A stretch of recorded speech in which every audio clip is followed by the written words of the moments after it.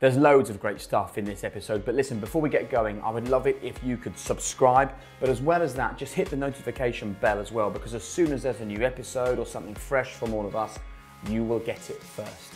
But for now, grab a pen and paper because I think you might need to make some notes on this episode. It's full of brilliant takeaways. Enjoy. Here we go. Hi there, I'm Jake Humphrey, and this is High Performance, where we delve into the minds of the most successful athletes, visionaries, entrepreneurs, and artists on the planet, unlock the unspoken secrets to their success to help you follow in their footsteps. Professor Damian Hughes, the wind beneath my wings, is with me. And look, Damian, if it's people with a positive growth mindset, um, talking and playing football, well, they're two of our favourite things. So I think we're I think we're going to enjoy today. I'm really looking forward to it, Jake. Uh, when I was doing some of the research for it in preparation, uh, I was reminded of a quote from one of our previous guests, Clive Woodward, who said that winning doesn't happen in straight lines. And I think that's true of all high performers, that there's bumps along the road. And today's guest has, has certainly taken a the scenic route to the top. And I'm really excited to hear more about that with them. Okay, let's do it then because here at the High Performance Podcast, we believe that it's time to rethink footballers. It's our national sport, right? Little old England has created the best league in the world, yet we don't celebrate it. We deride football we criticize their wealth, we seize on any little mistake they make. We make very few allowances for young, gifted, highly judged teenagers competing on the world stage. Yet, from Frank Lampard to Rio Ferdinand, Tyrone Mings to Steven Gerrard, Ole Gunnar Solskjaer to Mauricio Pochettino, this podcast has so far proved there is so much more to our footballers than we allow ourselves to believe. It's time they were just unboxed However, for that to happen, I think we need to be asking different questions and they need to allow themselves to be vulnerable. So let's welcome a Premier League captain, a Premier League winner, a man for whom football has been an ever present in his life. He might be the son of a legend, but we want to find out how he created his own story, how he forged his path, how he fought how he failed, but crucially, how he didn't lose faith. So get ready for a conversation not about football, but about life with Kasper Schmeichel. Welcome to the High Performance Podcast, Kasper. Thank you very much. Thank you for the uh, the nice intro there. Um, yeah, I'm uh, really excited to be here. So, what is high performance? To me, high performance is performing to the maximum of your capabilities to be realistic with what's uh, achievable with someone uh, for, for someone that has your your skills and uh, to absolutely maximize every single minute of every day to achieve your goals. Right. You know what I find interesting about that answer is when you talk about being realistic.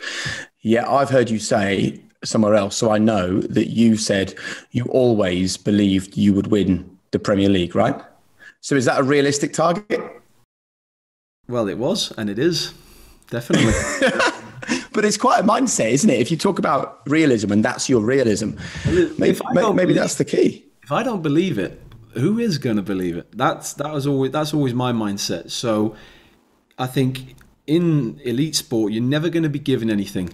So people will always, you know, tear you down, and they'll always find a reason to not believe you. So you have to have that much inner belief in your own abilities and obviously with it being a team game you, you, you're, you're controlled a little bit by where you are and, and the circumstances you're in.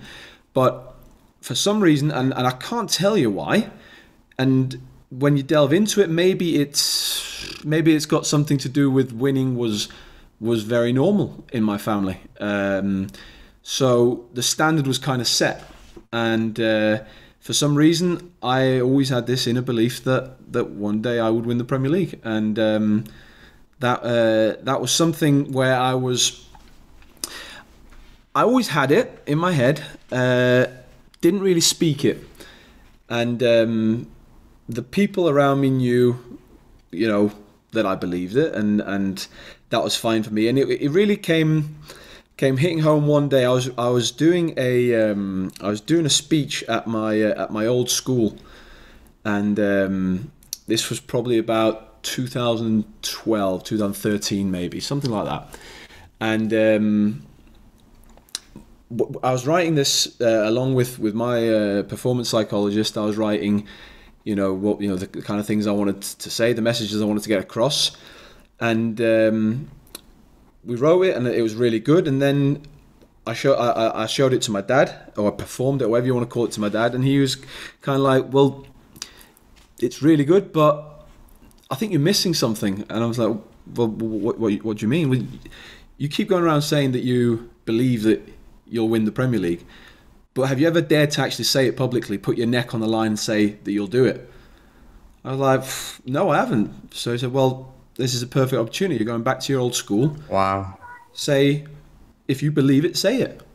So I made a promise to them that the next time I'd come back, I'd have won the Premier League. So that the whole, I did the whole speech, and I finished with a picture um, that I had of me when I was younger with the Premier League, and I, I said to them, next time I come back here, I will have won this and um, and yeah, and lo and behold, it it, it, it happened. But um, yeah, it was a it, it's it's one of those things when you then do it, uh, you want it again. Yeah. More, more and more. There's nothing. There's no feeling like it. There's nothing that can that can replace that feeling of winning. So, can I ask you then, Kasper, that a lot of people might have dreams or aspirations, but lack the courage to ever articulate them, like you described you did up until that speech. Why do you think that is? Well, I think it's the it's the fear of of failing, and you you talked before about daring to be vulnerable. This was me being vulnerable, because if this didn't come to fruition, I I you know I'd I'd probably look a bit you know like I wasn't realistic, and you know and and and it did get some funny looks. Of course, it did you know, we were playing it in the Championship at the time uh, for Leicester. So, so I think it's it's daring to be vulnerable and say those things. And and and for me now, the goal is still to win the Premier League. The goal is still to win trophies. Even more so, that desire is is so much more. It's so much more relentless now. And and my my motivation every day since the day we won that that that trophy is is just.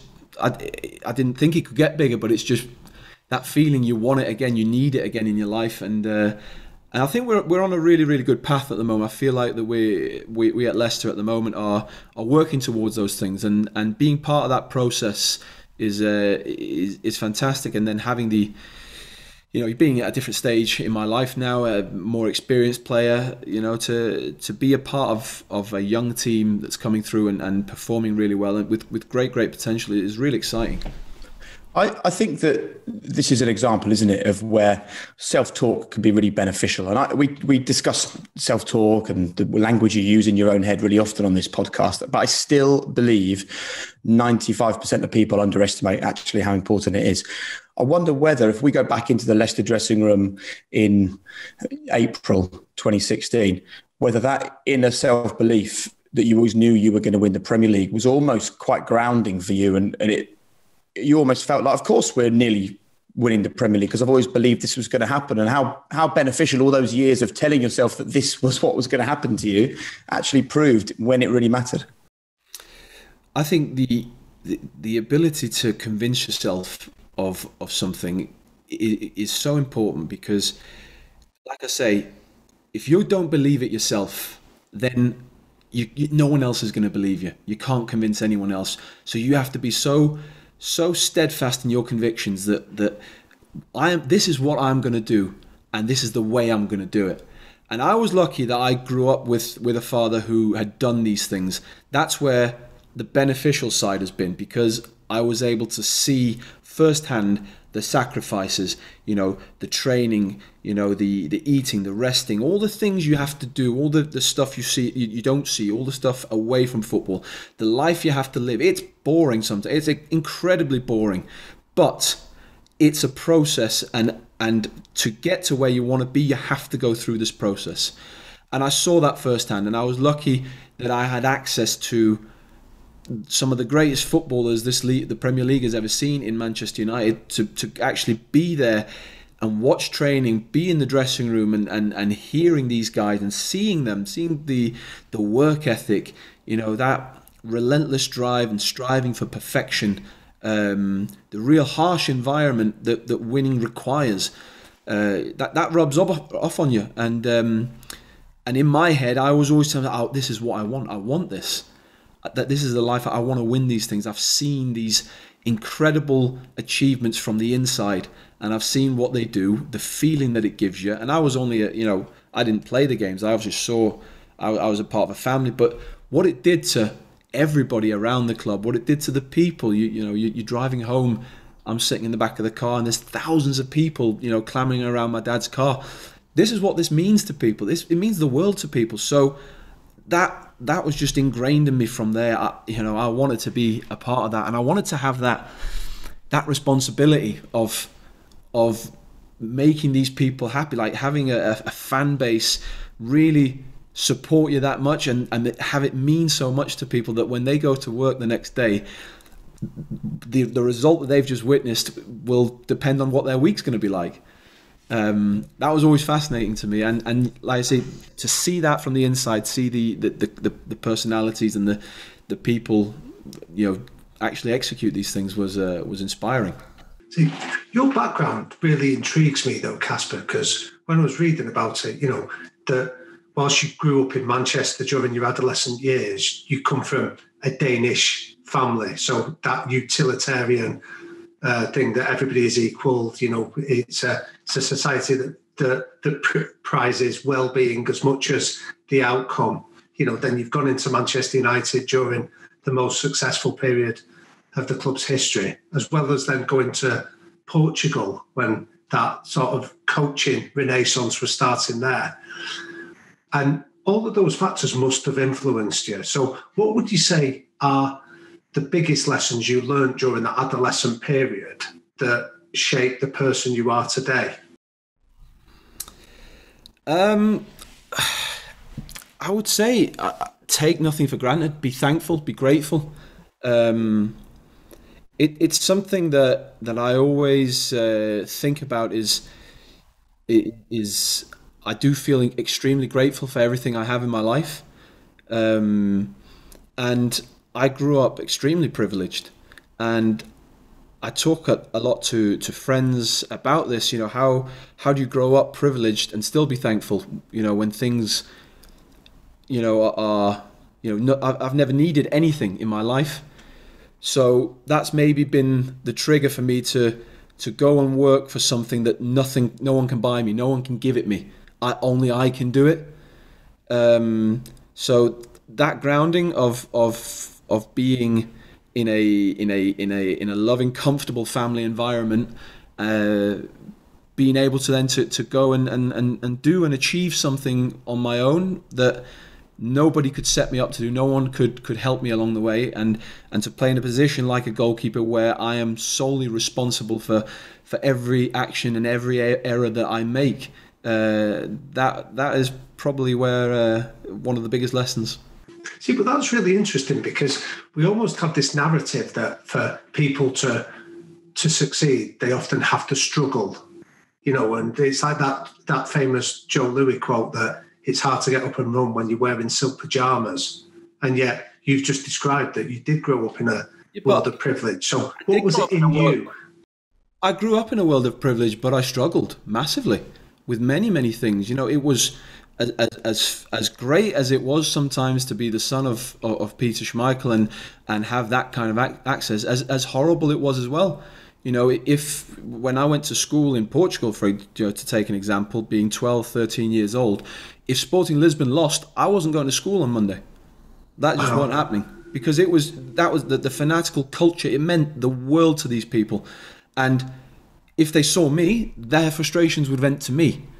You know that you know what was your dad? Why didn't they? You know these kind of things. So so you know I'm not going to sit here and say you know I've had a hard life. I, I've I've had my my my share of struggles with things, but you know I'm a strong person and and I get through those things because I believe that what I'm doing is is the right thing, and I believe I, I, go about it with respect and with humility. And like I say, I'm thankful for for the opportunities. I know I've had I have friends who who don't come from those kind of backgrounds, so I know the other side of it as well.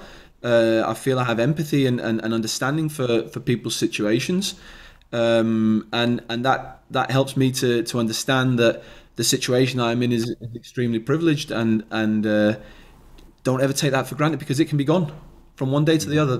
It can all be taken away from you. When we talk about um, struggle and talk about failure, explain to us how you, in your mind, because we've already mentioned how important self talk is. How did you reframe moving from Manchester City to Notts County? Because it, anyone that watches football knows that's not a forward step, right?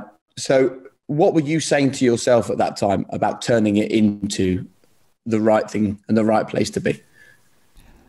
Well, it's kind of like it's kind of like when you try and get your Wi-Fi to work and it won't work. You keep resetting it, keep resetting it. It doesn't work. In the end, you have to turn the computer off yeah. and restart. It was the same thing for me. I had to restart my career. I had to start from the beginning. So I had been at Manchester City. I'd got a, a, great football education through so many different people I played with, so many great coaches. I'd had, you know, an amazing upbringing in football in that sense. I'd been out on loan, and it all been very um, sporadic and and you know didn't not really a plan. The plan was obviously to get to the the Premier League, but the plan to get there wasn't actually set. There was no process to it. It was just one day from the other. Darlington's needs a keeper for four weeks on an emergency loan. Right, I'm going there. Right, then Bury. Right, I'm going there. Then Falkirk. Right, I'm going up there. You know, there for me there were steps up every time. You know, going to play from from League Two to playing the Scottish Premier League you know that that was a step up. And then going to play in the Championship, but there was no kind of base of right. You you you you almost have this uh, this great life as a youngster in football where at Man City, particularly, I know it's even more now, but you you have everything. Everything's yeah. done for you. You know, you come into training and pitches are beautiful. Your kit's laid out. Your kit is washed. Your boots are done for you. Everything's just right. All you have to do is come in and play. But you obviously learn when you go out on loan that that's not the norm. You know, there's 20 Premier League clubs, and and that's that that was it. I mean, I know it's changed through the years, but this we're talking like 2004, 5, 6 here. So you know, things were were, were a lot different back then. Um, but kind of when you go on loan, I, I always uh, I always made a point of, of showing people, wanting to show people how much this meant to me, because I knew it was it was uh, it was me becoming a professional footballer, which was my dream. So I was playing professional football against against you know men, big mm. guys who who actually you know who weren't in the privileged position that I was in at City. You know, I was on a good contract, and like I said, everything was done for me. And if if things were to fail, I could always go back there. These guys couldn't do that.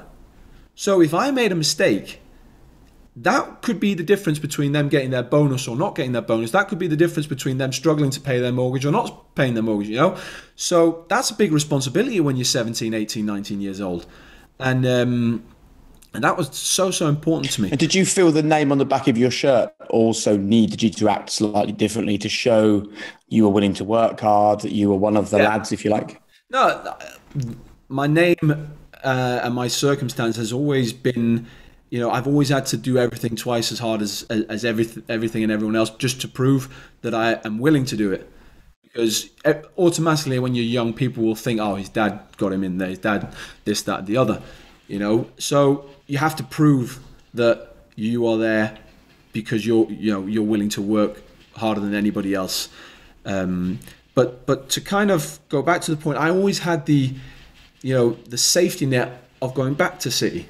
Yeah and uh, and I got to a point where I'd been out on these loans, I'd experienced these highs. You know, as a youngster, experiencing um, playing at you know against Celtic, against Rangers at Ibrox, these kind of experiences at my age was incredible, and that buzz you can't replace it. You want it again.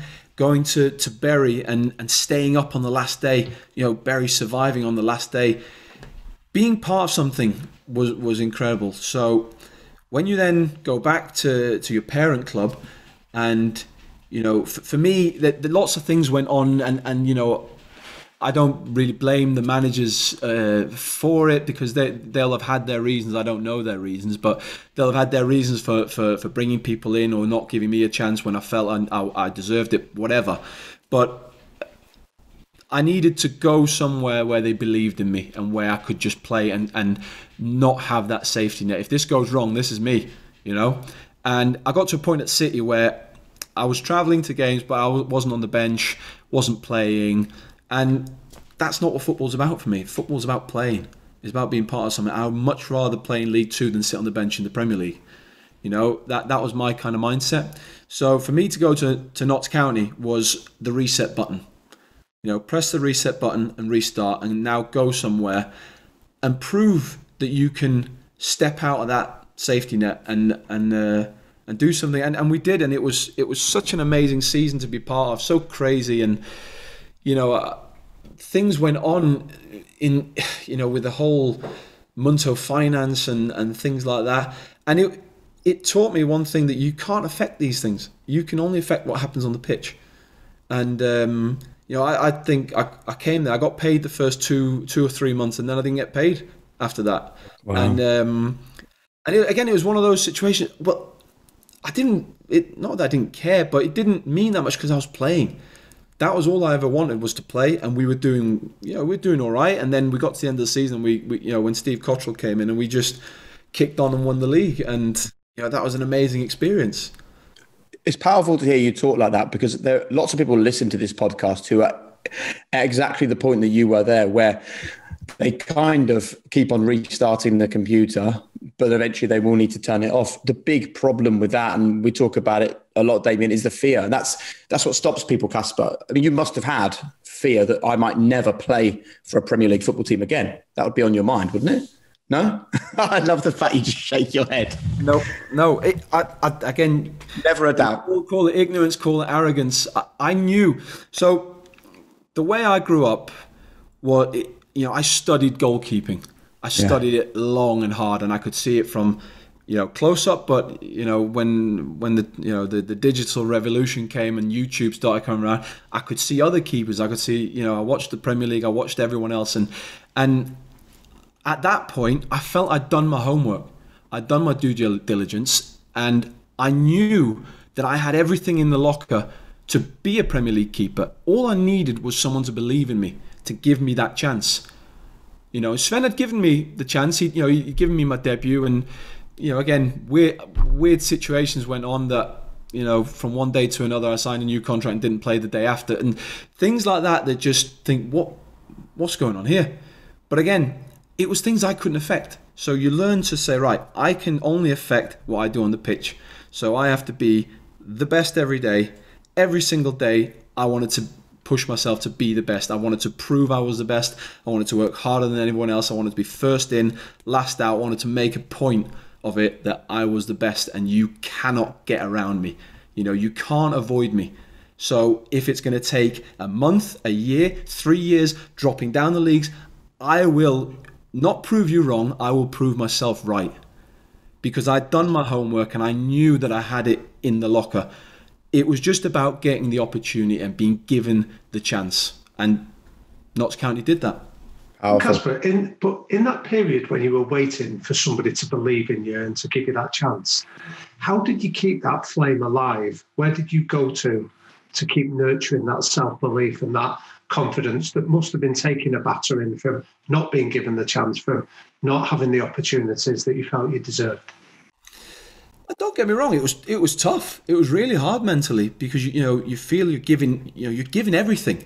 You're training, you know, you're hours and hours and hours on end, and you know, there's all these. You talked about at the start of the, of the program uh, about how that how footballs are perceived just because they earn lots of money. Blah blah blah blah. You know, people. You know, you don't feel like as a footballer you can say you have a tough life because you earn a lot of money. People and everyone will always say that. Well, I'd do that for that money. So, yeah, you might do, but we do it. We sacrifice these things. So you might say that you would you'd sacrifice missing your kids' birthdays. You you might say you'd sacrifice you know Christmas and New Year's and all these things. You might sacrifice not seeing your friends for months on end because you're training or you're doing this that and the other. But we actually do it. So for me, I was I was sacrificing a lot and not getting the opportunity. So that's tough mentally because you know it's not. You know the team when the sheet, team sheet goes up, it's not going to be your name, but there's that little 1% of hope that's it might just be i might just have caught the eye i might just have done this but what you learn is you are constantly being watched. You're constantly being evaluated. Everything you do from the second you step in, the car you arrive in, the clothes you arrive in, you know, how you act when you arrive at the training ground, go into the dressing room, how you talk to people, do you treat people with respect, you know, how all these things matter to managers and sporting directors and these kind of people. So that it's not just on the pitch. So you have to be perfect in every aspect. So when you aren't getting the opportunity, it becomes tough. It definitely does. So, for any of our listeners that, uh, that can identify with this, then Kasper, what kind of techniques did you draw on to keep you consistent and keep showing up and giving your best day after day? Well, for me, it comes down to love. I love playing football. I absolutely love playing football, and you know, when when I when I went to sleep, you know, you know, my arms used to jerk or something like because I, in my head I had, you know, I was dreaming football all the time, and I absolutely love playing football. So you you, you kind of just every time you get the the knockback, you say to yourself, well. Is it worth it? And you you look at the guy who's playing in front of you, and you think, yeah, it is worth it because I know it'll come. If I keep doing the right things, it will come. I've just got to be patient. So every time you get that knockback, I, I always said to myself, you know, do you love doing it? And and now I'm at a different stage in my career. Sometimes it's the, you know, the, the days when it's you know, minus degrees or it's, you know, pissing with rain or whatever it might be, and you think, oh god, you know, you're doing tactical sessions as a keeper, you're stood there freezing, you know, you can't feel your fingers, can't feel your toes, and and things like that. But again, you go to that place in your head.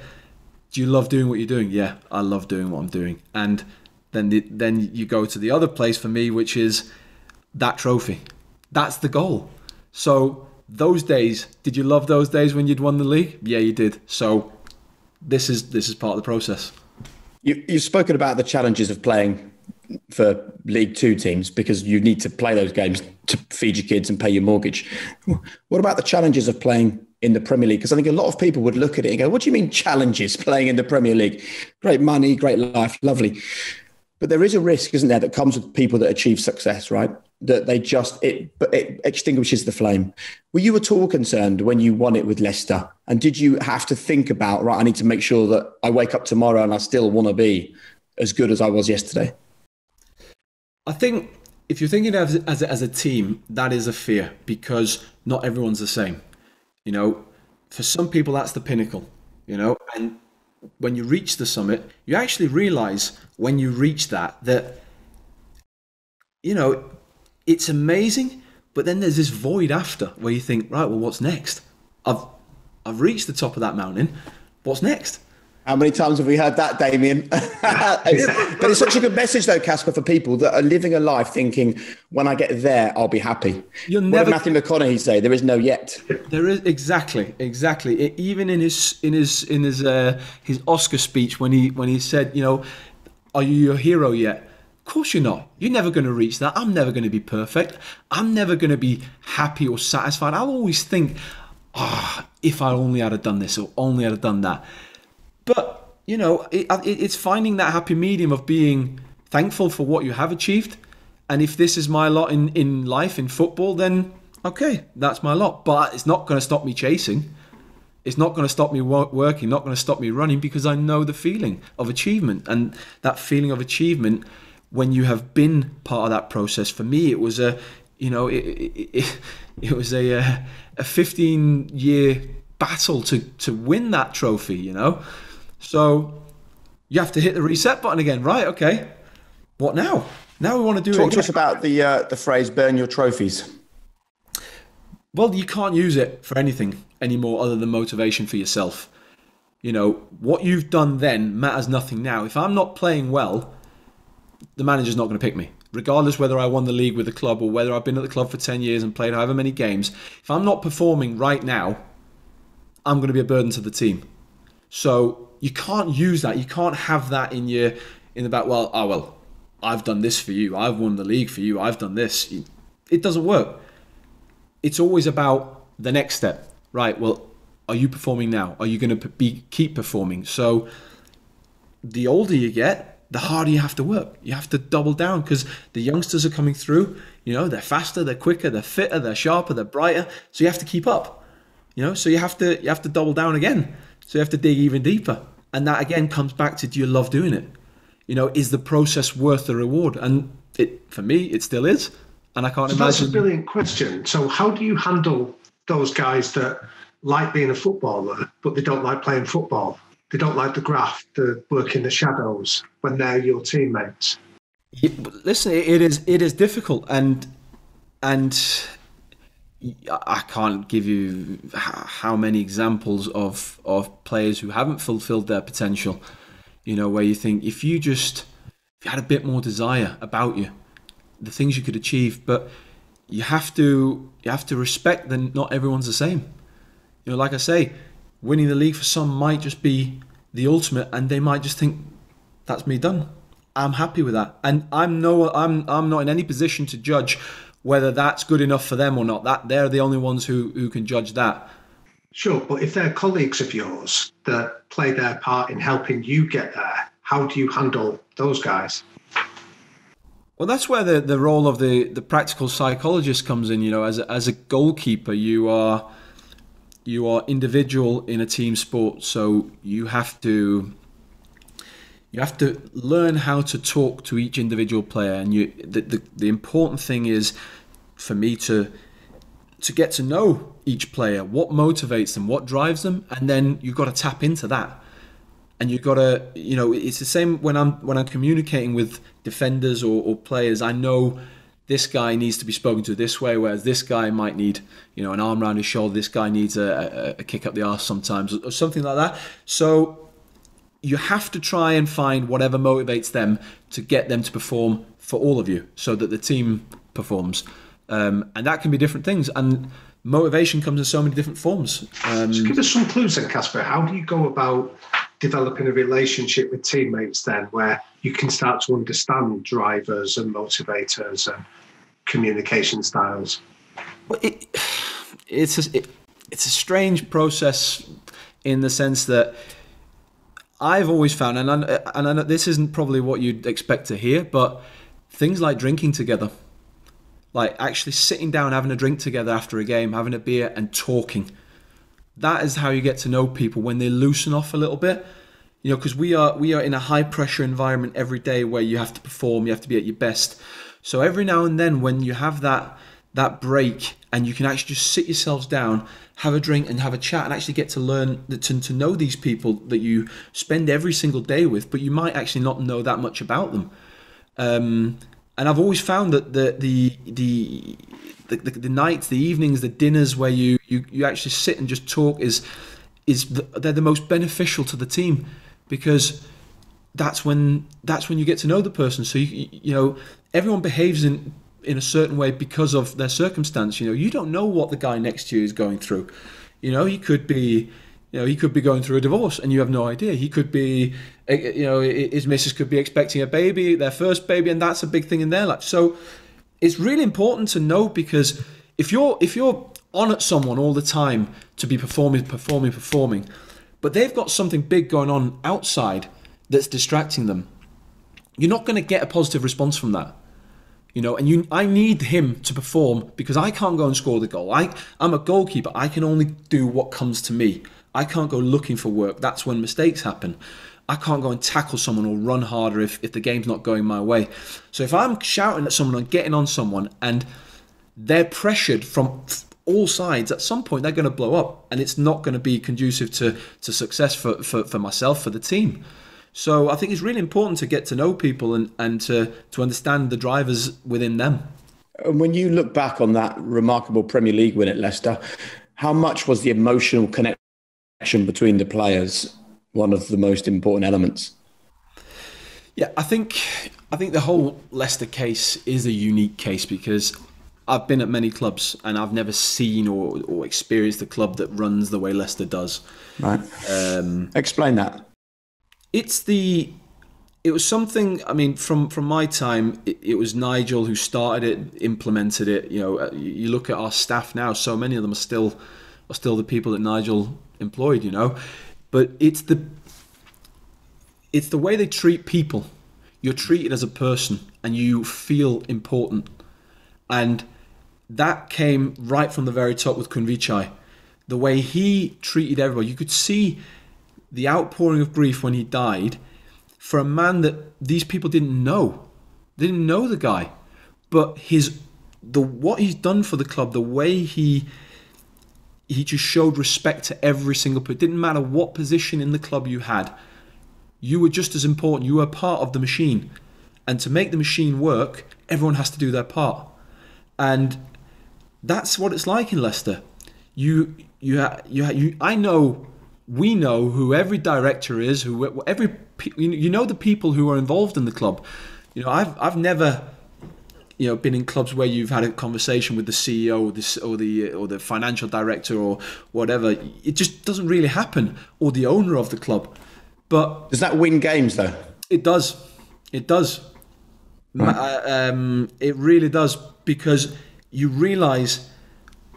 I don't think a footballer doesn't think about what the financial director has to do at a club to get things to go, or what the CEO has to do to make things work.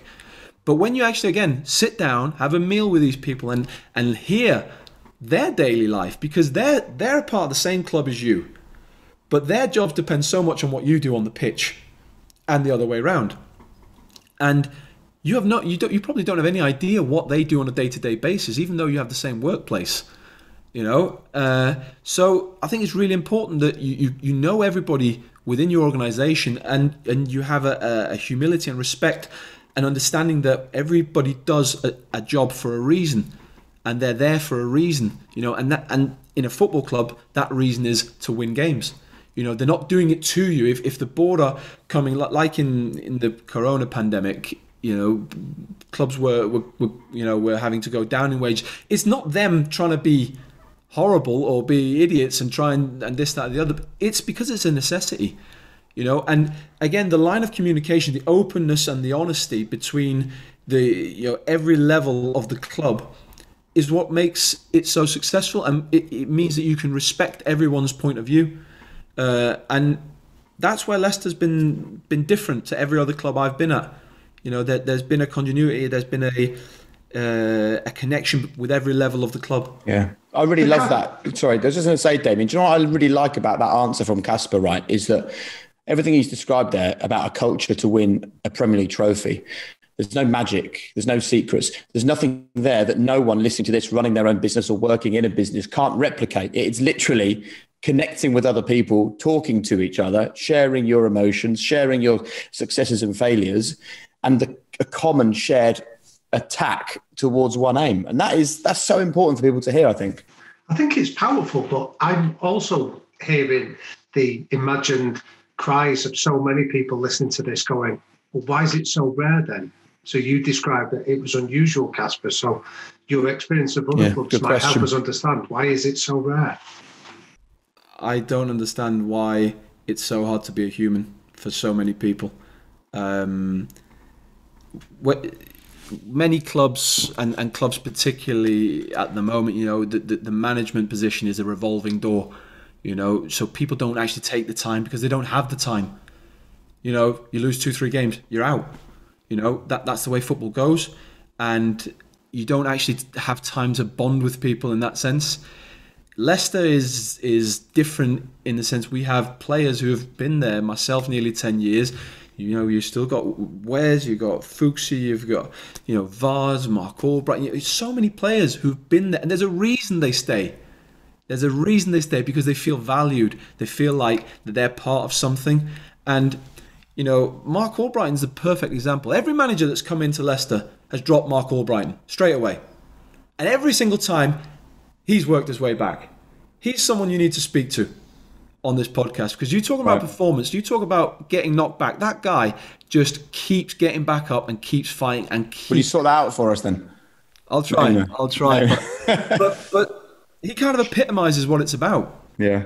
You know, and you can you can translate it to every profession because at the end of the day, if you want to achieve something, you need people working to their best capabilities. So as a CEO or a leader, that was what Khun Vichai did. He made sure everyone felt good. he helped people. I mean, the, the amount of stories that came out after he died of people he'd helped that no one knew about. You know, I, I, I've, I've ten stories of how he helped me in different in different ways of, but it's simple things. It, it's just on a human level, you know, and that that means so much to people because I think particularly in England, there's there's a there's a society where you know there's lots of difference between rich and poor, you know, and for someone who has everything. I mean, Khun Vichai had every reason to be an idiot. He could do whatever he wanted if you want. Like, no, who's gonna who's gonna say anything against him? The guy's a billionaire, but he chose not to. He chose to be a nice guy. He chose to be a good person. Yeah. You know, and and I think that's really difficult when you have that amount of wealth. And I think people get surprised. Oh my days! He, you know, he shaking my hand, going right, saying that. Well, not shaking a hand at the moment, but you know, with, with, with fist, fist, bump, fist yeah. bump at the moment. But but you know what I mean? It just little tiny touches like that, like just saying good morning, how are yeah. you? You know, not, instead of just walking past people in, in, in the tunnel that, or or in the stadium, if he's if you know going up past uh, past someone, just acknowledge him, say hello, how are you? It, it's quite simple. So Kasper, when somebody comes and joins your Leicester dressing room, then and maybe doesn't quite get this, so maybe does come in full of airs and graces or uh, with a with a little bit of swagger. How do you induct them to understand that that doesn't carry much currency in your world? Oh, they'll understand it. They'll they'll they'll they'll get to understand it. But again, it comes from the top. It comes from the top, and again, not many players sign for a club and and meet meet the owners or the CEO, or the, you know, they'll meet the sporting director and the manager and sign. You know, doesn't really happen. But I think a lot of the time that happens at Leicester. You know, you you, you feel valued, you feel welcome. Um, you're coming into a squad that a lot of established players who know what the club's about, and they'll know who you are, and they'll have respect for that. But again, a team has to be. You can't just have eleven workhorses on the pitch you have to have the the, the flamboyant, the uh, you know the, the, the prima donna or the uh, you know the, the, the person in the you know James Maddison pink boots, and you have to have these characters to form a good team. You know, you can't just have eleven or, or twenty three of, of the same or twenty five of the same people. So you have you know we we've we've been you know, in Leicester, the, the recruitment's been. You, you've had your. You started with Anthony Knockaert. You had then Riyad Mahrez came in. You know, these kind of players you'd say don't fit the mold of a Leicester player, but that's you, you have to have that difference as well. Yeah. And like I say, that X factor. You so take for example Riyad. Riyad was able to do what he did at Leicester because of someone like Danny Simpson. Because he knew that Danny Simpson, what he wasn't the overlapper, he wasn't the one who was going to come and create with him. But he knew he could just go because Simo would sit there and cover him. So if he lost the ball, Simo was there. You know, so that kind of unlikely duo worked brilliantly. You know, so that gave Riyad the, the freedom and and the you know the, the ability just to express himself and, and do his thing. And his thing, he saw things differently. You know, he, he sees things, you know, passes that I don't see or any or other people don't see. And that's what sets Jamie Vardy up for goals. That's what creates confusion because he knows the guy behind him. He's uh, he's got his back if, if that's the case. And like I say, the makeup of a team is is, is very very uh, very important because you have to have different personalities. You have to have the you know the hard hitting, the winners, the real, the drivers. You've got to have people who can calm situations down. You have you've got to have loads of different kind What's of. What's your role there? Um, I don't know. I I've don't be so modest. Come on now. No, I, I mean, I, I try to lead by example. You know, I try to, to do the right things as, as much as I can. You know, uh, I, I try to always be the hardest worker in the room. Um, Why is that important to you? Well, because I think it's the right thing to do, and, and I, I think it's important to show, you know, at the age I'm I'm at that that it still means the world to me. You know, winning still means everything to me, and they have to see that I'm willing to sacrifice, I'm willing to work just as hard, harder than anybody else to get there. You know, and um, yeah, my role is is is to communicate and to to uh, to play as well as I can, be steady. The best games I ever have are the ones you don't notice me in. they're the best games I have because then I've done my job perfectly with my defense. You know, that's where we have been in perfect tandem and we have uh, we've stopped chances from occurring. So for me, it's never been about being you know making great saves and being eye catching this that and the other. It's been about just finding consistency so that the team know that they can depend on me. And um, and that's not that's never really changed. That's always been my view on goalkeeping. Is, is the best goalkeepers are the ones you you probably don't really notice that much, and the ones that people call underrated. The big problem with, with goalkeeping, from uh, my perspective, standing on the sidelines alongside normally strikers, Kasper, as you know, talking about goalkeepers, is yes. that the midfielders or the strikers can miscontrol the ball four or five times a game, misplace a pass, no problem. You do it once, and it leads to a goal. You're, you're you are operating at the absolute edge of failure. And we love people to get to that point because it's only when you're right on the edge of failure that you're really finding out what your limits are. How do you become comfortable with millions of people watching every single game you play with failure? The fact that you deal in a world where millimeters is what matters. You've, you've actually said the opening line of, uh, of, of when I do go out and, and, and do speeches to people. That is, I work in millimeters. That's my first line. Really? Tell us the rest. It sounds good. Oh, you, you haven't got you haven't got that long. Trust me. No, it, but it, it, that's that is genuinely the slightest millimeter is the difference between success and failure in, in my profession. And as a goalkeeper, you cannot make mistakes. You have to be perfect. Any mistake will cost your team. Um, that is what you, they say. I always hear this thing that goalkeepers are crazy, this, that, the other. Yeah, to to accept and love and revel in that responsibility, you have to be crazy because, like you say, you are operating on the edge of failure every single time.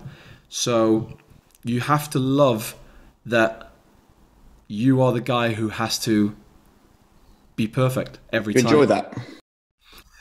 I, I think I don't think you can be a keeper if you don't enjoy that. Um, you have to accept failure as part of the game. It is absolutely part of the game, and you, I, I will dissect every single goal that goes in, and think I should have saved that.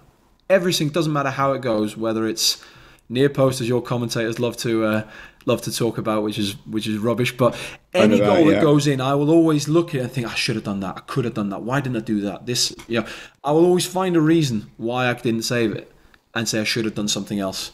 Um, every... I remember um, a game against Bournemouth not long ago when you came out in the press afterwards, didn't you? Did you not accept? You sort of accepted responsibility for for that defeat for Leicester.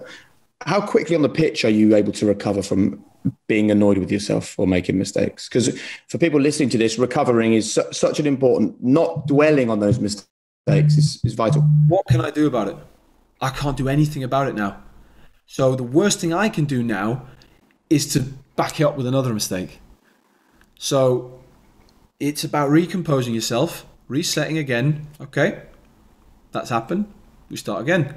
Because as a keeper, when you come looking for work, that's when trouble happens. It's the same as as a as a tennis player serving for Wimbledon.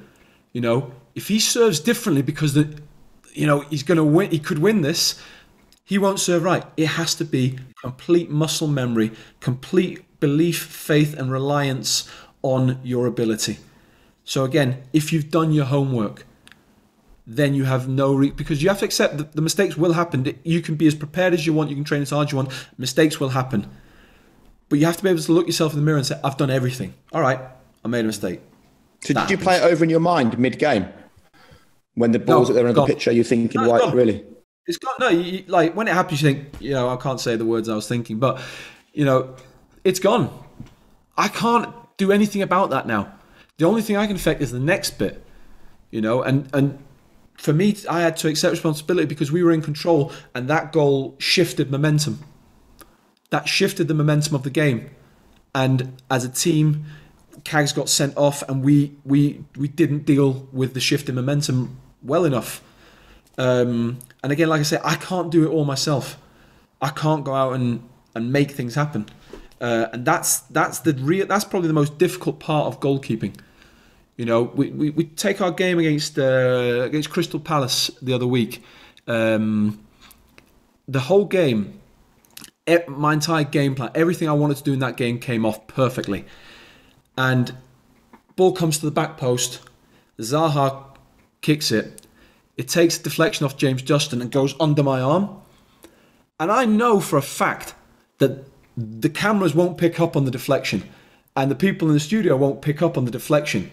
But I know there's nothing I can do about that.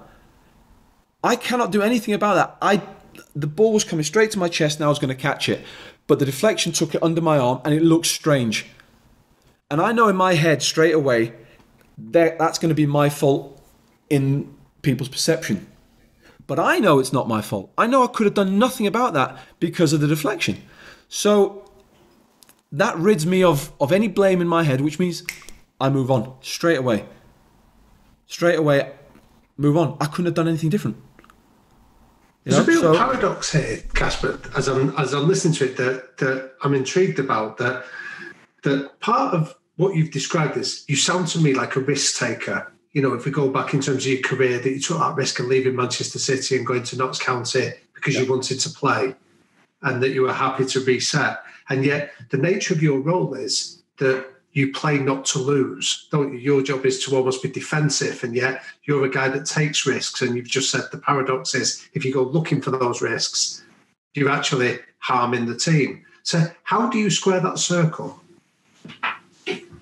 Again, it comes down to the type of goalkeeper you want to be. And the game has changed so much from when I made my debut for Darlington to where we are now. So, take a club like Leicester. Leicester have been, you know, an up and down club for many years, and we, we finally now have stability, what you'd call real stability, and we have a manager who is, you know, who's world class, and we have everything in place to be world class. So the way we play, for example, take our, our style of play. Leicester fans won't be used to seeing that. They won't be used to seeing their keeper trying to be creative with the ball. But that's what I'm being asked to do. You know, I'm not being asked to take chances. It's not that. But you, you know, the take the Bournemouth kick. That was a perfect kick. When I look at that back, what I was trying to do would have happened if it hadn't hit Wilf. That was that was unlucky that it that it happened, but yeah. it was something we'd worked on. Dennis Praet had dropped into the pocket, and the ball would have been perfect. I knew it from the second I hit the hit the shot that I'd hit the ball perfectly. But there are other variants that you can't can't do anything about. But as a keeper, now you're being asked to play out from the back. So when you do that, naturally, more risk is is taken. And when when we had fans, you know, you, you could feel the crowd when you when I've got the ball at my feet, they just wanted to kick it long. You know, they used they're not used to seeing that. So they have to understand that they'll they'll they'll judge someone. They'll judge a goalkeeper distribution if the ball goes if they hit over hit at one shot. But a midfielder can do that loads of times. They can make mis- passing mistakes all the time. We can't make passing mistakes. We have to be perfect every single time because if we're not, we lose, or or we, we potentially there's a big big risk that we lose the game. So you have to again do your homework. You have to train every single day you have to do these things. So, so for me, you know, I train a lot with the outfielders to make sure that I can do these things, but also that they know I can do them. So they trust me. They know they can bounce the ball back to me and I can control it. You know, they know that if they give me a difficult ball to my left foot or to my right foot, I can still do something constructive with it. And the way goalkeeping is now, you are now required to be constructive with your with your play. So when you have the ball at your feet, you're required to produce something that you know, not not not that you have to hit you know the, the the the definite you know assist pass, but you have to play into a system which is designed to get you up the pitch, and sometimes that short passes between people, which look risky, but that's part of the game now. The game's changed, so you have to evolve with it. And all of this is going on in the, the, sort of most public arena you can imagine, not just the fans in the stadium. Um, we can't wait till that is happening again, but everyone at home and your teammates and former teammates and pundits and other managers and your opponents who are watching you as well. So, how do you go about removing all the ego from this so that it doesn't become about you and then it doesn't become internalized in those big moments where you need to make a save? Uh, you know, it's it's a challenge, isn't it, not to kind of let pride be the center of everything that you do, Kasper? I think ego is a really interesting aspect because I have a massive ego, but I'm also a massive team player. Um, right. So how do the two work together? Well, they work together in the sense that the that the pride I have in not conceding is so big, and it it hurts me if it's in training. It you know it oh, it kills me every time a goal goes in. It annoys the hell out of me. But you have to sometimes remove the pride, remove the ego, because if you are too hung up, it's like burning a trophy. So if you're too hung up on on what you've done, what you've achieved, who you are, then you're not focused on now. You're not focused on who you are right now. You know, you're focused on something that was, and you might not be the same person. You might not be the same player. You know, so uh, I talk a lot about removing the ego from situations, and you can you know, you could probably even go back. You can take this to a different analogy of, of, of maybe in, in, in the business world of, of Blockbuster back in the day when they had the opportunity to buy Netflix. Maybe the ego is too big to, you know, we're too big for this. That won't be a yeah. challenge. And you see what happens. And it's the same here. You have to remove that ego and say, well, I am also just a very small cog in the big machine. You know, so this isn't about me. Even though individually my performance is about me my individual performance. But at the end of the day, I don't really care if I played bad or great as long as we win. Is that That's true? the most important. And it's the same thing about. I, I, I always get asked this thing about clean sheets. Like clean sheets mean nothing to me. They mean nothing. As long as we win, I don't care. Right. I do not care. That's interesting, though, for someone who admits they have a bit of an ego. And and I, by the way, can I just say I don't think that saying I've got an ego should be seen as a negative thing. I mean, we, we've already discussed. You've admitted you've got an ego. You admitted you went to a League Two football club as a young guy and still believed you'd win the Premier League. Like, what's the point thinking anything else, Kasper? And I wish people would understand this. What's the point thinking bad stuff negatively about yourself? What I can't see a benefit. Can you? I, I can't because like we talk about, I can control what's in here. So I, I talk a lot to the younger keepers about when they make mistakes. If it, you know, I used to be real aggressive to myself making mistakes, and my coaches know they're like, stop doing that. You don't, you don't need to show that you've made a mistake because I don't know if you've made a mistake. So that's why I keep telling these youngsters if they you know, if they're doing something and they're trying to catch it and they haven't quite caught it and they get angry with themselves, style it out. Make it look as if that's exactly what I was trying to do. I'm in control here. That was exactly what I was trying to do. Don't let me know that you're annoyed with yourself because that just gives people ammo to come for you. Say, oh yeah, that was that was pretty bad. People are going to come for you anyway. Don't give them any more ammunition. And control the controllable. So don't go on social media. Don't read about yourself because what are you going to gain by that, by someone else's opinion of you? Because it's so easy to have a negative opinion of someone and tweet it or write it anonymously. So. Does it impact you, social media, other people's opinions? Not at all. I don't read it. I don't what, read it. I, what if you did? Oh, no, no way. Really? Wouldn't no, because you? what would I win from that? What, like, that's the question. What can I gain from doing that? Because if you do that, you might read a hundred really nice comments, but you'll look at the one bad comment, and that'll be the one you obsess over. So it's almost like the horses having blinkers on. Don't look at it. Have your people. So I have my people. I have my board, my board of directors that I discuss things with. So I will go to my trusted people when it comes to football, when it comes to personal life, when it comes to business, when it comes to anything.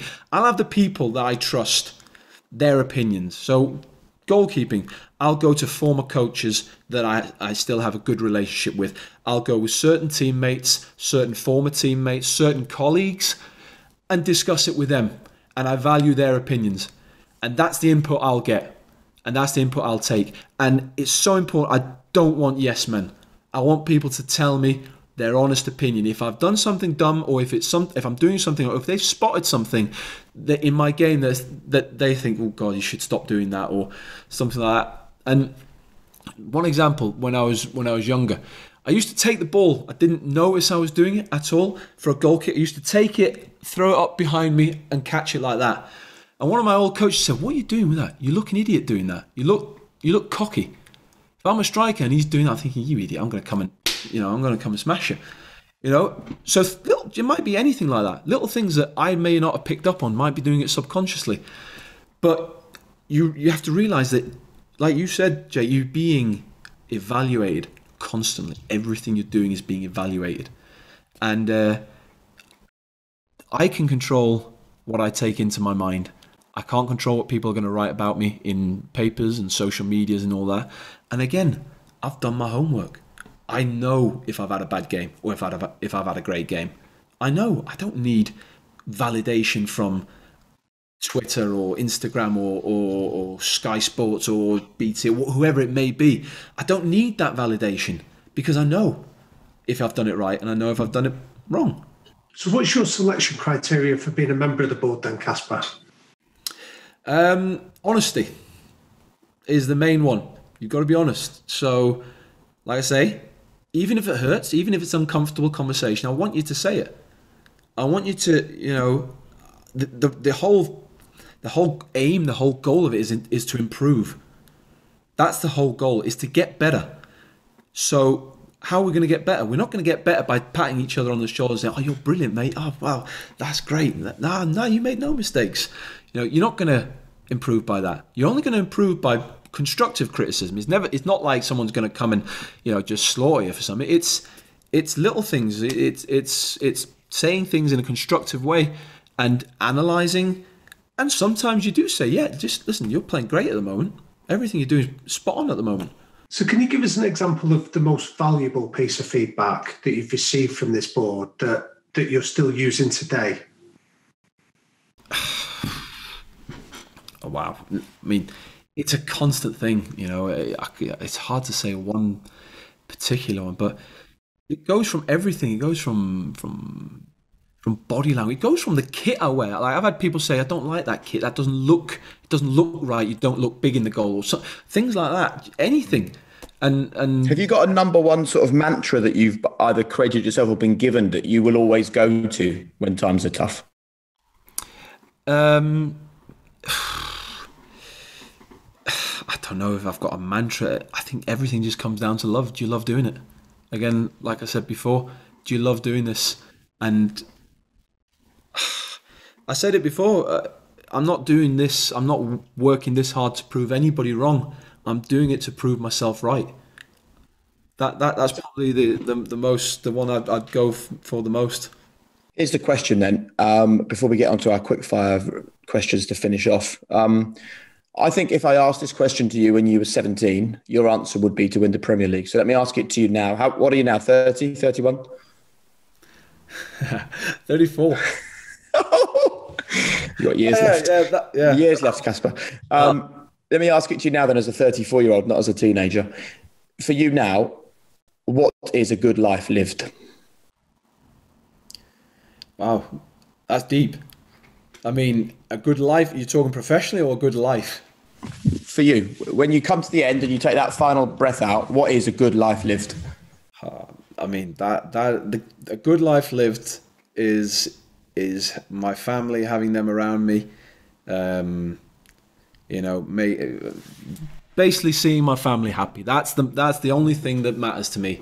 Football is is a is a great, a massive part of my life, but there's nothing that comes close to to what it means to have your family around you. Um, I've I have been away from my family for for large large periods. I've missed large periods of my kids' lives and football gives you a lot. It also takes a lot. Um, so the day I retire, uh, I will really look forward to the everyday of being with my children and being with my family and actually being a a dad in like in the sense of being able to be there when your when your kids are, are, hurt. You're not at a hotel or you're not been away for 12 days with the national team. If they need your help, if they need you for for homeschooling, homework, whatever it may be, uh, to be able to be there for them uh, support them and see them happy, see them thriving. That that that would be a life well lived for me. So when you mention this, so just to follow on from that, Kasper, when you speak about your obvious love of playing football has shone through in most of the answers that you've given us. How do you intend to find the next thing that you can fall in love with beyond your family for when you finish playing? I have well, this is the thing. I, I have I don't fear the day I can't play anymore. I, I look forward to it in a positive way. There's it's as if there's a whole new world opening up for me. You know, all of a sudden there's possibilities every single direction. Um, football will always be there in some capacity, whatever capacity that may be. Um, but it, you know, it's like uh, yeah, it's, it's like a it's life's a buffet. All of a sudden, you choose your direction and try it. I want to try things. I want to travel. I want to I want to go back to all these places I've played in and actually see them, not just see the airport and the hotel and the stadium. I've actually re- always really made a point of everywhere I've gone with the national team. I'm, I'm lucky. I've got teammates and, and, and a particularly a goalkeeper coach for Denmark who really loves to go for walks. So so many times night night before games, we'll go for a long long walk in the city. You know, hoods up, hats on, and all that, so no one can see who we are. But we'll go for a long long walk and actually just see the cities that we're in, see the places where we are. And I'd love to go back to so many of these places. Um, and, and experience them again. I'd love to travel, I'd love to take my children, show them the world, show them all these places that I've been and, and experience them with them. Um, but yeah, it, it's almost it's actually really really exciting uh, what what lies ahead. Um, so I, probably if you'd asked me that question when I was 17, I'd have feared that day. But but I definitely don't. I think that there's for me in my head there's a long long time before that will happen, and my, my kids will be will be in their late teens by the time that'll happen. But you know that's uh, that's the, the that's the gift and the the price of football at the same time. And can, and can I ask you one last question? We've not really had, found anywhere to squeeze it into this, but one of the big themes that we picked up on the podcast series, Kasper, is the futility of comparisons. You know, comparing you, your insides to other people's outsides, and yet you've been born into a family where comparisons are going to be inevitable, and you've chosen to go into an industry where those comparisons get even harder. What advice would you have for anyone listening to this about coping with comparisons and what you've learned from it? I think I think going into it, I was probably very naive. I didn't think the comparison was going to be that big, um, and kind of the it yeah it was, and uh, I was already in it that deep. I couldn't really change it, but I'm being you know I'm being compared with one of the best goalkeepers ever. you know, so I don't know. It, it's one of those standards is what you set yourselves, and standards in my family are different to maybe other families. So I've won one Premier League. We we've won five. We've won six in my family now. You know, that's the standards. So for me, getting a professional career wasn't enough. You know, my dad won the Premier League. He won the Champions League as captain. You know, he play he has the record appearances for his country. That's the standard. You know, so that gives me something to strive for. You know, that gives me motivation that you know these things. You know, we we got to. I've got to do at least something that, that's similar. I think winning the league with Leicester is is is a unique experience, but you know I'm still four short. You know, so that that gives you something to chase. But um, but, but it's it's something that lifts you up and powers you on. It's not something that um, overwhelms you. No, it, it, it, doesn't really bother me anymore. It, it it's actually it, it uplifts me because of who my dad was or is, what was as a player. Um, it, it's it's the it's the mindless, endless questioning of the same thing. You know, so you you, you, you can't really have a press conference, particularly like when you go international football. You know, journalists who don't normally have access to you have access to so they want to ask you the same thing over and over and over again. And still, at the age of 34, people are still asking me about these things. You know, you know I'm a grown man with, with, with kids and, and a life, and, and you still, you know, people. People, I, I had I heard Martin Keown. It was one of my friends sent a, like a video clip of Martin Keown calling me young Kasper Schmeichel. People still see me as a child. You thought I was thirty. Yeah. I'm 34, but I'm seen as someone's son. I can't change that. It doesn't. I've, that's that's what I've had to accept. You can win the league. You can be 34, have kids, all this. You're still someone's son. Yeah. I can't change that. So why fight it?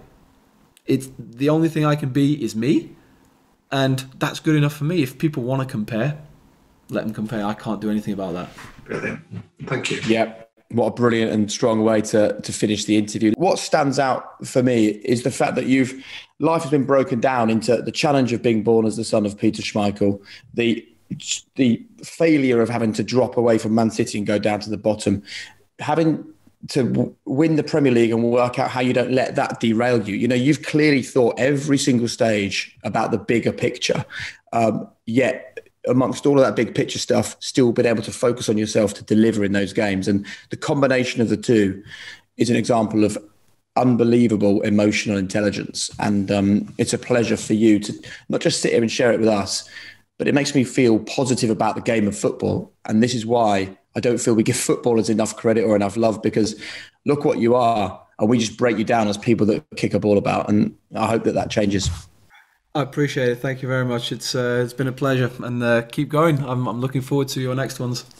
Good man. Thank you, Kasper.